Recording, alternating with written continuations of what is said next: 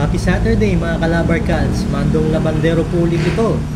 Ah, kaninang alas 3 ng hapon, naglabas ulit ng article ang Philstar.com entertainment section tungkol sa paglipat ni Willie Revillame at ng kanyang programa sa TV5. Tara, basahin natin. Wawawi sa TV5 Willie Revillame's photo sparks talks of TV5 return. The photo of host Willie Revillame visiting TV5 Media Center in Mandaluyong has online users thinking if the host will be returning to TV soon.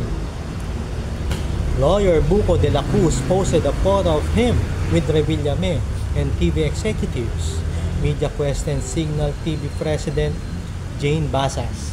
TV5 President Guido Saballero and MediaQuest Chief Finance Officer John Andal.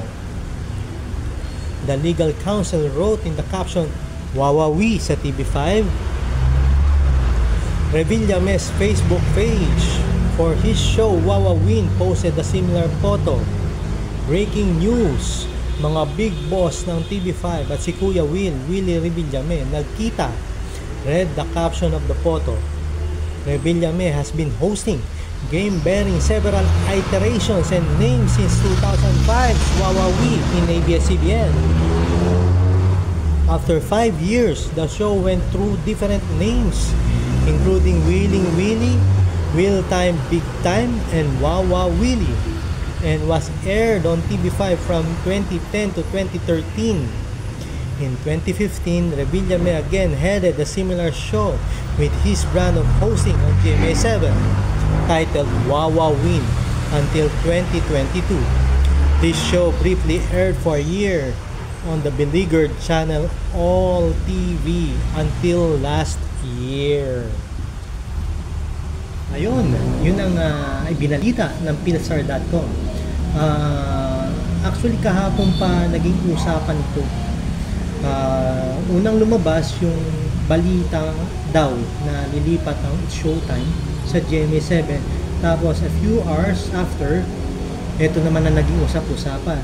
Dahil na rin sa litratong ipinost ni Atty. Buko sa kanyang social media.